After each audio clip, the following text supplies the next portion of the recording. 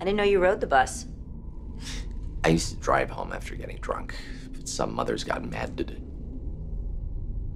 What are you doing here? You weren't on the bus with me? Then I guess this isn't a memory. This is a fantasy. If it's a fantasy, you'd be wearing this.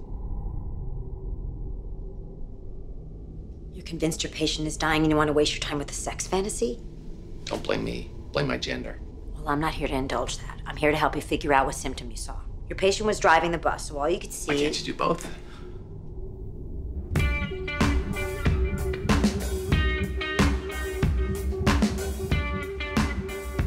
Your patient was driving the bus, so all you could see was him sitting down, most likely facing forward.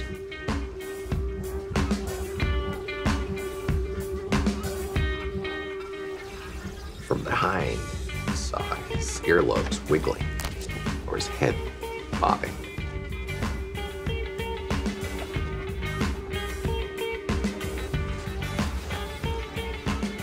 Not that. Could indicate aortic insufficiency Marfan syndrome. or syphilis.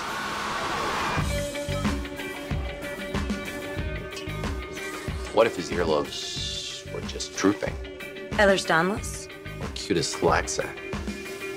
It's not fatal in adults.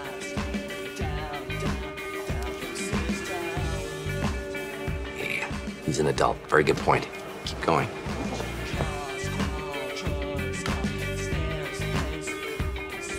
I'm distracting you. No! Dance, woman! You'd rather be diagnosing. I scream no! And your own subconscious ignored you. Because you'd rather fantasize about finding symptoms. How screwed up is that?